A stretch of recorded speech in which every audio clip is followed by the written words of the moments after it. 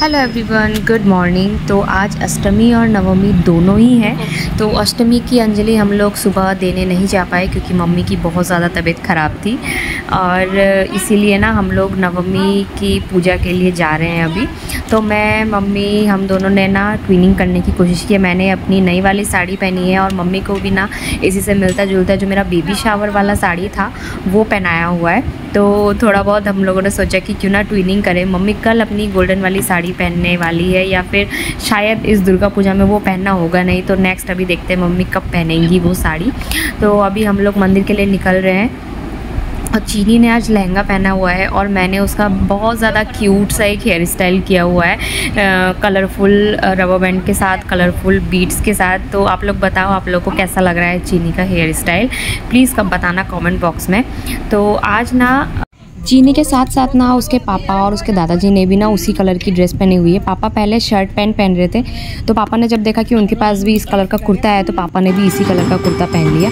तो हम लोग अभी मंदिर आ गए हैं तो अभी नवमी की आरती, भोग चढ़ा के आरती की जा रही है।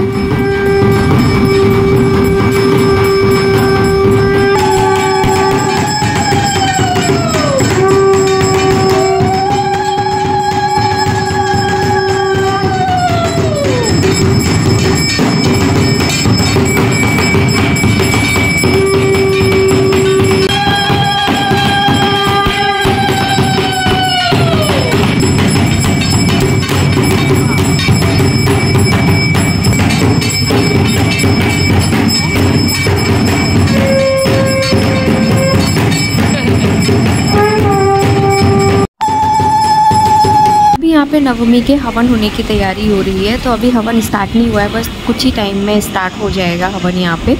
तो हम लोगों ने भोग खा लिया है, मैंने और मम्मी ने।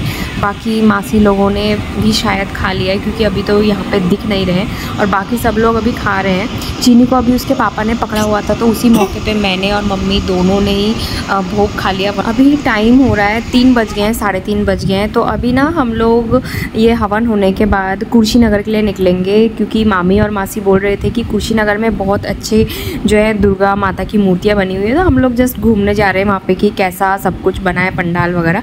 तो हम लोग निकल गए कुर्शीनगर के लिए और ये रास्ते में इतने सुंदर सुंदर पेड़ पौधे पूरा ग्रीन ग्रीन रास्ता था और यहाँ पे कास फूल। इनको तो देख के एकदम मन करता है ना कि देखते ही रहूँ बट मेरे हबी और मेरे दो देवर, वो तीनों ही नहीं आए हैं। वो तीनों कल की प्रिपरेशन के लिए वहीं पर रुके हैं क्योंकि अभी बहुत सारी मार्केटिंग करना बाकी है। कल मंदिर में हम लोग भोग देने वाले हैं, सबको खिलाने वाले हैं। तो उसी की प्रिपरेशन के लिए वो लोग वहाँ पे हैं सब कुछ मार्केटिंग करने के लिए। कुर्शीनगर आते आते ना हमने काफ़ी सारे पंडाल देखे, लेकिन कुर्शीनगर में जब पहुँचे ना तो यहाँ पर जितने भी सब पंडाल थे, वो उतर के देखने वाले थे। गाड़ी में से कोई भी नहीं दिख रहा था कि अंदर मूर्तियाँ कैसी हैं। तो हम लोग एक पंडाल में उतरे।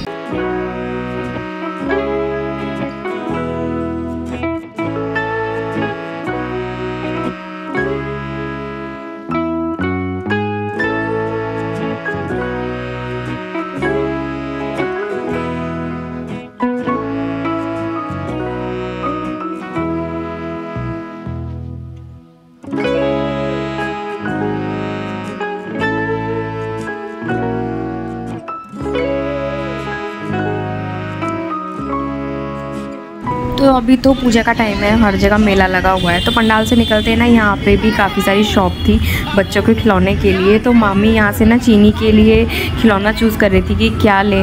तो मैंने सोचा क्यों ना उसके लिए ये कैट ले लें। तो वो पूछ ही रही थी कि क्या लूँ तो मैंने बोला कि चलो ये कैट ले लेते हैं। तो ये कैट ले लिए मैंने और मासी ने वहाँ पे ना उसके लिए एक बॉल और एक डॉल ली हुई है। चीनी ने ना डॉल पकड़ने के बाद फिर वो छोड़ी नहीं रही थी डॉल तो मासी ने उसको वो भी ख़रीद के दिया और यहाँ पर भी किचन सेट देख रही थी उसी की। ना, हम ये वाले दादाजी के घर जाने वाले हैं। तो ये ना पापा के मामा जी हैं। आपने इनको पहले के भी काफ़ी सारे ब्लॉग में देखा होगा।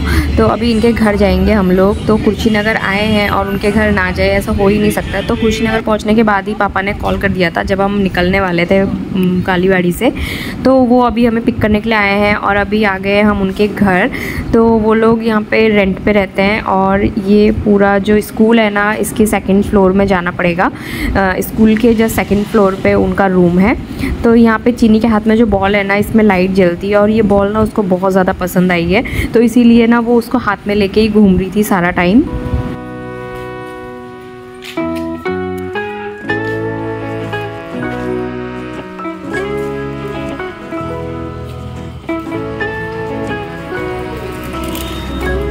हम लोग आ गए हैं सेकेंड फ्लोर में और सामने से व्यू कुछ ऐसा है और यहाँ पे ना जो दादी जी हैं उन्होंने भी काफ़ी सारे प्लांट्स लगाए हुए हैं और नींबू का पौधा भी लगाया हुआ है जिसमें काफ़ी सारे नींबू लगे हुए हैं।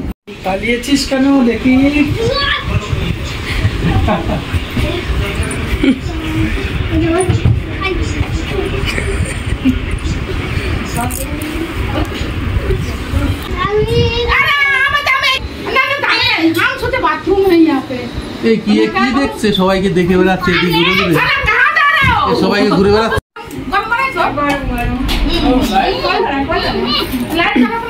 গুটকা টুকার গেছে यहाँ इतने छोटे से प्लांट में इतने सारे नींबू लगे हुए थे तो वही सब दिखा रही थी। एक्चुअली ये दादी जी नहीं है, नानी जी है, मैं थोड़ा कंफ्यूज हो गई थी पहले। तो यहाँ पे अभी हम लोग निकलने वाले हैं। हम लोगों ने अभी चाय पी और नानी ने जो है गुलाब जामुन बनाए थे गरम गरम तो हमने गुलाब जामुन भी खाए। तो काफ़ी ज़्यादा लेट हो गया है। अभी साढ़े पाँच बज चुके हैं। घर जाते जाते काफ़ी लेट हो जाएगा। बट अभी हम ना पहले यहाँ से जाते ही पहले कालीबाड़ी में पहले जाएँगे क्योंकि वहाँ पे अभी रात में आरती होने वाला है, डांडिया, डांस सब होने वाला है। प्रोग्राम तो यहाँ पे ना इस मेले में हम लोगों का जाने का बहुत ज़्यादा मन था। तो जब हम जा रहे थे ना कुर्शीनगर को, तब प्लान बनाया था कि यहाँ पे देखेंगे। तो फिर सब लोगों ने बोला कि जब हम रिटर्न आएँगे, तब जाएँगे। लेकिन अब रिटर्न जाते टाइम इतना टाइम हो गया है, इतना लेट हो गया है तो अब हमारा जाना कैंसिल हो गया है। तो अब सीधे हम लोग कालीबाड़ी जाएँगे।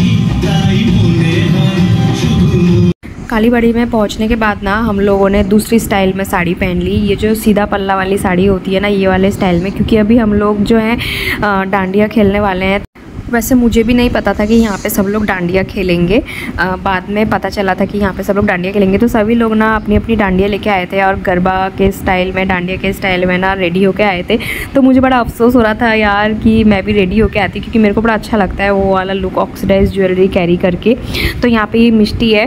आ, मेरी एक ननंद है जिनकी शादी में हम लोग गए थे या रिश्ता पक्का जब करने गए थे तो वो वाला ब्लॉग मैंने शेयर किया था आप लोगों के साथ। और यहाँ पे चीनी अपनी दादी के साथ इतना इन्जॉय कर रही है कूलर के सामने डांस कर रही है। आजकल ना चीनी थोड़ा थोड़ा डांस करती है जैसे म्यूज़िक बजता है ना अपना सर हिलाना हाथ हिलाना तो आजकल बड़ा इन्जॉय करती है म्यूज़िक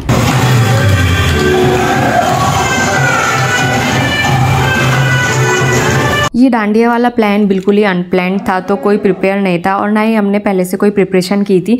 तो जिसको जैसा स्टेप आता था, हम सब लोग वैसे ही स्टेप कर रहे थे। रिया मामी जो है ना, वो सबको सिखा रही थी कि ऐसा ऐसा करो, ये वाला स्टेप करते हैं, ये वाला स्टेप करते हैं। लेकिन हम लोग करते करते ना, फिर देख रहे थे कि कोई कुछ कर रहा है तो कोई कुछ कर रहा है, इसलिए सब अपने मन का स्टेप कर रहे थे। क्योंकि हमने इस बार ना बहुत ज़्यादा इन्जॉय किया इस दिन। और ऐसा लग रहा था ना, इतनी जल्दी दुर्गा पूजा चले जा रहा है। आजकल तो हर जगह ही डांडिया नाइट्स होता है, हर जगह गरबा, डांडिया नाइट होता है। तो आप लोगों में से कौन कौन गया डांडिया खेलने के लिए? हम लोगों के यहाँ पे भी काफ़ी सारी जगहों पे हो रहा था, लेकिन हम लोग नहीं जा पाए क्योंकि चीनी छोटी है। अभी थोड़ी बड़ी हो जाएगी, फिर हम लोग भी जाएँगे आज हम लोग पूरा दिन बस नाचने में ही लगे थे। पूरा दिन नाचने का मतलब है कि घूमने में ही लगे थे। पहले मंदिर आए, मंदिर से कुर्शीनगर गए। अभी यहाँ पे सब लोग आरती कर रहे हैं माँ की तो आरती में हम लोग ये धुनुची वाला डांस करते हैं, जो कि मैंने इस बार मिस कर दिया। इस टाइम पे ना मैं नहीं थी यहाँ पे, और बाकी मम्मी लोग सब लोग थे। चीनी को बहुत ज़्यादा नींद आ रही थी, वो भी छोटी सी है, दिन भर में वो भी बहुत ज़्यादा टायर्ड हो गई थी। इसीलिए मैं उसको कार में ले गई थी सुलाने के लिए तो वो सो भी गई थी, वो एक डेढ़ घंटा सोई थी। मैं, मासी, मौसा जी, मामी, हम लोग कार में बैठे हुए थे। मम्मी, पापा और मामा यहाँ पर डांस कर रहे थे तो ये वीडियो ना मैंने किसी से ली है, उन्होंने शूट किया था तो मैंने उनसे मांग ली थी कि आप लोगों के साथ शेयर कर सकूँ कि सब लोग, हम लोग ना यहाँ कालीबाड़ी में जाके कितना ज़्यादा इन्जॉय करते हैं। मैंने तो लास्ट ईयर भी ना धुनुची डांस किया था जब मैं प्रेग्नेंट थी, सभी लोगों ने मुझसे बोला था कि करो करो, थोड़ा सा ही। मैं नहीं करती, लेकिन मैंने थोड़ा सा किया था, शायद वो क्लिप मैंने आपको शॉर्ट फ़ीड में शेयर भी की थी। और ये वाला जो आज का दिन का ब्लॉग है, आप लोगों को कैसा लगा प्लीज़ बताना कॉमेंट्स में। और आप लोगों ने कैसा इन्जॉय किया, इस बार दुर्गा पूजा वो भी बताना। आज के दिन ना हमको घर जाते जाते काफ़ी ज़्यादा टाइम लग गया था। आ, हम लोग यहाँ पे साढ़े ग्यारह बजे तक थे और घर जाते जाते हम लोग को एक बज गया था क्योंकि रास्ते में भी काफ़ी ज़्यादा ट्रैफ़िक था और हम लोग ना रास्ते से ही खाना भी खा के गए थे। और बाकी जो तीन लोग घर पे हैं मेरे हबी और मेरे दो देवर उन लोगों के लिए खाना भी पैक करवा के लेके गए थे। इसीलिए ना काफ़ी ज़्यादा टाइम लग गया था। इतनी रात हो गई थी कि हमको बाहर भी कुछ नहीं मिल रहा था खाने के लिए। फिर छोटा सा एक ढाबा मिला हमें तो वहाँ पर हमने खाया और वहीं से खाना भी पैक करा के हम लोग घर चले गए थे। तो आज का ब्लॉग ना मैं यहीं पे एंड करूँगी। आई होप आप सभी लोगों को वीडियो अच्छा लगा होगा। और वीडियो अगर थोड़ा सा भी अच्छा लगा होगा ना आप लोगों को तो प्लीज़ एक लाइक ज़रूर कर दीजिएगा। और कमेंट्स में ज़रूर बताइएगी आप लोगों ने नवमी डे कैसे इन्जॉय किया। फिर मिलते हैं नेक्स्ट ब्लॉग में, तब तक के लिए बाय